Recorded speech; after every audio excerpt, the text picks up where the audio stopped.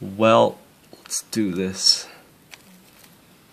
It's a pretty large cricket, but um, I think she'll be fine.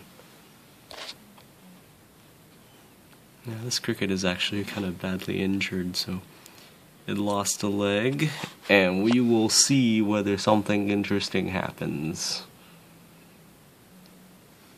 Maybe.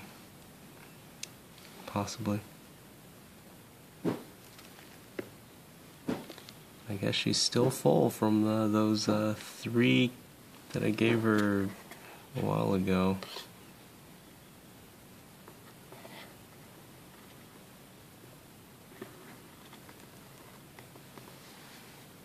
Oh, guess not. I shut off the camera and she grabs it, as always.